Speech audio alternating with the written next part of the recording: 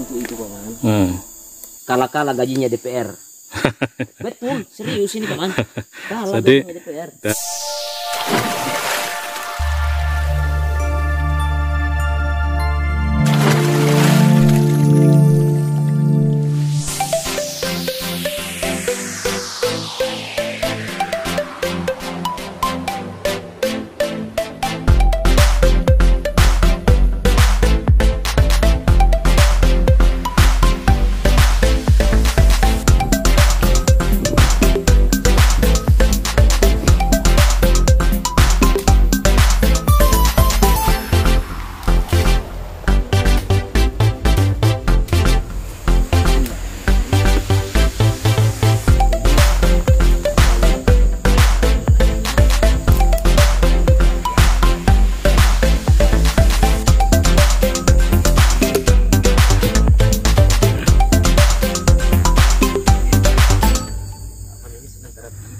Inilah proses eh, pelaksanaan atau penderes pohon aren yang nanti akan menghasilkan air nira.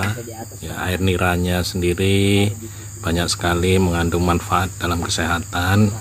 Eh, di samping itu biasanya air niranya ini akan digunakan atau dibuat menjadi gula aren.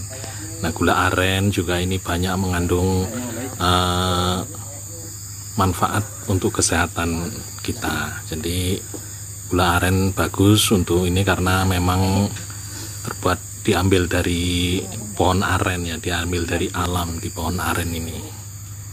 Oh, udah lumayan banyak itu. Nah, itu sudah satu botol ya. Dan lama kelamaan itu tangkap dulu. Yap, yap, tangkap. Ya, eh.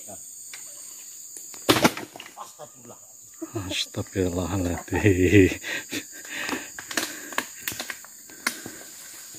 Bang lah pak. Lumayan lah ya. Bang lah. Oh ya. Satu liter lebih. Iya. baru air niranya baru dapat satu liter lebih nah ini Berarti nanti diiris lagi? pertama pertama kali deres apa irisan pertama di pokok aren ini air niranya keluar ya satu liter lebih sedikit. Ini eh, dari pagi tadi diiris sampai sore ini hasilnya segitu. Nah ini untuk hari-hari berikutnya kedua ketiga menurut mereka ini nanti banyak sekali bahkan sampai 20 literan gitu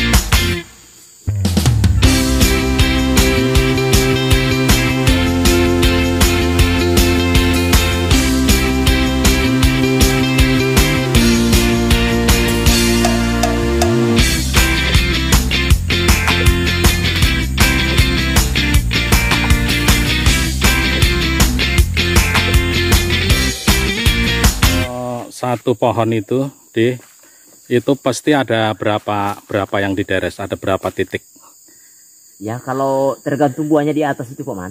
oh kalau toh- misalnya berbuah ini kalau diambil semua bisa sampai lima.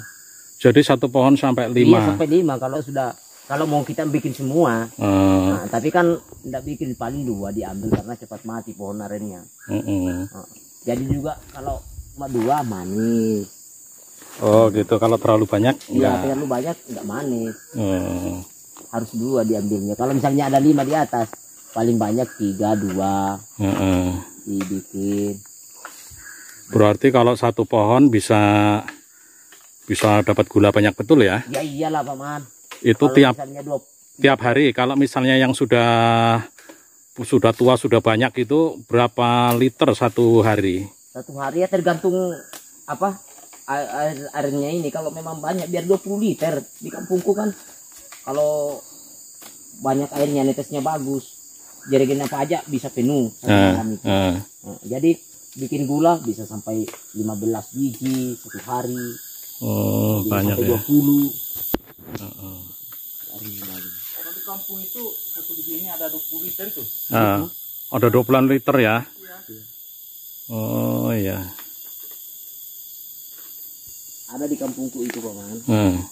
kala-kala gajinya DPR betul serius ini paman kalah Jadi- DPR Dari Deres Dari Deren ini ya. iya Oh, dapat Gajinya penghasilannya besar. hari, satu bulan itu gajinya Ah, bisa tembus 7 juta 7 jutaan ya.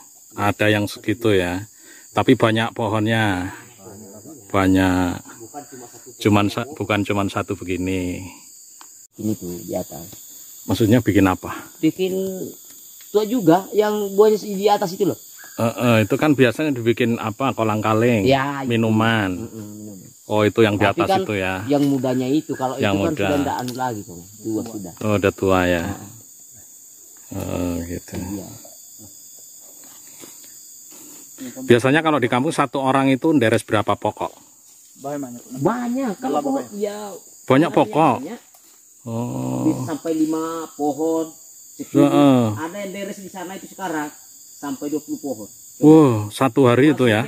Yang bikin gulanya itu man Hmm. malam dibikin gula juga karena kalau pagi lama nunggunya